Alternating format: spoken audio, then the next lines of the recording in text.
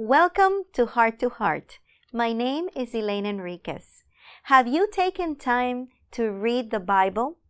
Today I encourage you to take time for yourself and get excited about God's Word in all the promises He has in store just for you. Allow yourself to meditate in God's goodness and revelation in the Word for your life. God is near you and He loves to spend valuable time with you. God sees your life and your struggles.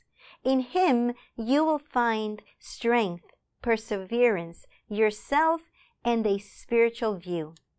Let's go to the Word in Lamentations 3, verses 22 through 23. Because the Lord's great love, we are not consumed for his compassions never fail. They are new every morning. Great is your faithfulness. Isn't that wonderful?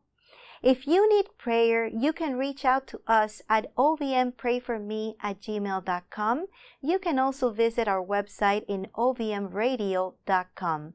We have encouraging words of uplifting and renewed every morning with a fresh outlook for your day. God bless you.